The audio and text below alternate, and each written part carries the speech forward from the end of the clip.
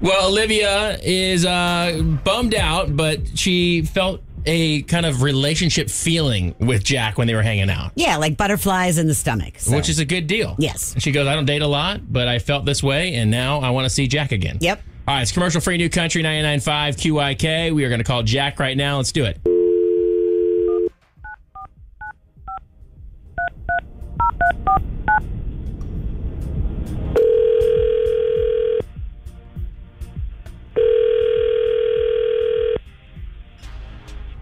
Hi, good morning. Is this Jack? Uh, this is? Hey, Jack. Sorry to bother you this morning. This is actually JR, Lana, and Kevin over here at 99.5 QYK. How you doing? Um, doing good. Hey, man, would you have a couple minutes to talk to us? We want to see if we could, you know, uh, talk to you actually about this. Is I know this is going to sound crazy, but talk to you about a date you recently went on. Would you have a couple minutes to talk to us? um, that's that's fine. Yeah, that's okay. All right, great. Appreciate Thank it. Thank you. Well, straight up, we, we want to talk to you about this girl, uh, Olivia. We know that you guys uh, hung out and went to the Outback for dinner, had a great time there, and she said that she really had some strong feelings for you. Wants to see you again. Can't seem to get you on the phone, and can't seem to set up another date with you. Maybe we can help. What's going on with you guys? That's funny. Okay, I thought I thought maybe my first instinct was just what you just said there. Wow. Um, I don't know. She's just way too country bumpkin for me. Is the best way I could say it. Country bumpkin? Yeah, like extreme country. Like I just can't deal with. I don't know how to say it. Well, like, kind of who she is and what she's got going on. which is what? She like lives with a chicken. She lives with a chicken? Yes, a terrifying chicken. Terrifying. Wait, did Yeah, you see have this you ever when you went to go pick her up, or she told you about this? So I go to pick her up. I come in and and right away I see like down the hall a little bit. You know, like from one room to another, this little thing just like passes like out of the corner of my eyes. Like I go, I go, whoa, what was that? She's like, that's my chicken. I was like, your chicken, and then the chicken's like in the kitchen all of a sudden, and it's like peeking at me. You know, they have that side eye mm-hmm. where they look like kind of off the side of their head, mm-hmm. Yeah. and it's oh. staring at me. It's like peeking around the corner, like, what is that? And I'm like, what are you? Yeah. what are you? I, I, then she's like talking to it. She's like finishing up her makeup, and, and you know she's she's referencing the chicken, and the chicken's like back to her. So they I'm so like, she this is talks real. chicken. This isn't real. There's no way. I'm- yes, a hundred percent. And I, I felt like I was in the twilight zone. I, I kept trying to rationalize it. I'm like, well, you know, people have like little pigs and stuff, or, or or like a sugar glider, so people don't always have to have the traditional pet. But this chicken was like tick tick tick tick tick tick tick, tick going back and forth, like running around the house, confused obviously because it's a wild animal. All right. and- So here's the deal, Jack. We actually have Olivia on the go off, phone. We have to ask her about this. Yeah, please ask her.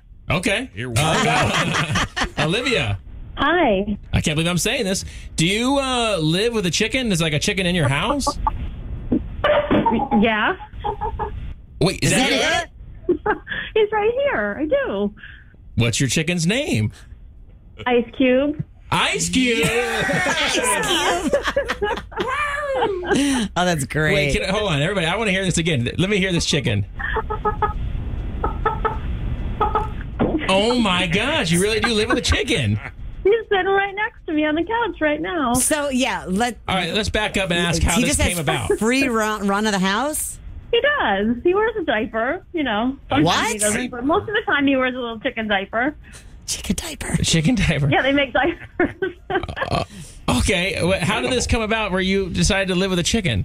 well, I live on a farm. Like my parents have a farm down the road. Um, they have some chickens there, and I found him. He hatched, and his mother abandoned him, and he was like half frozen to death. So Oh.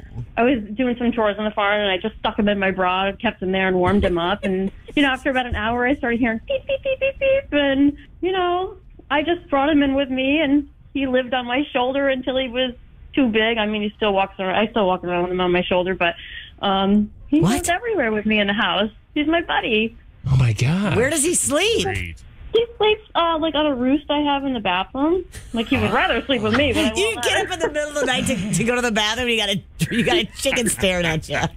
No, like I put newspaper under him. Well, it sounds like you have a good sense of humor about it too. I mean, Jack, this is actually kind of funny, man.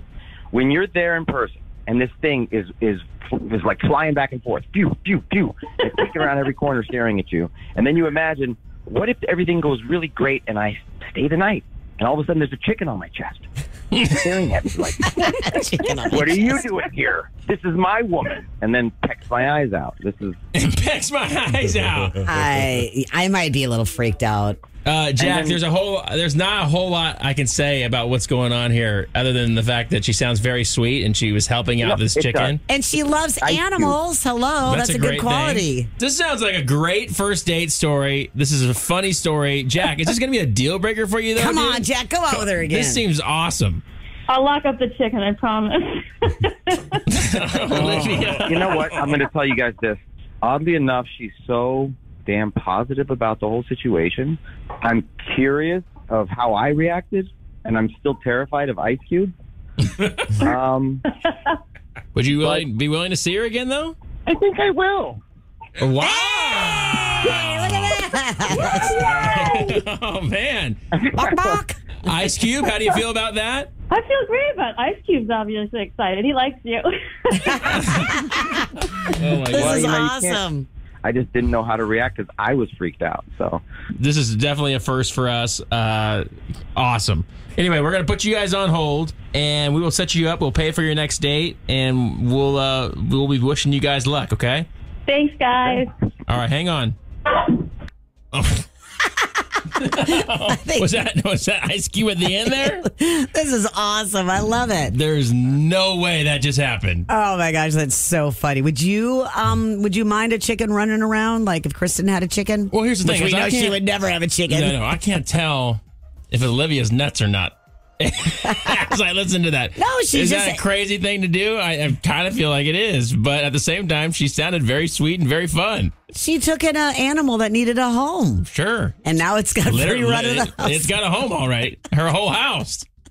Oh my god! I love the fact that she named it Ice Cube. Ice Cube, and the fact that it wanted to speak up on the call as well. So great. Oh my gosh. All right, here we go.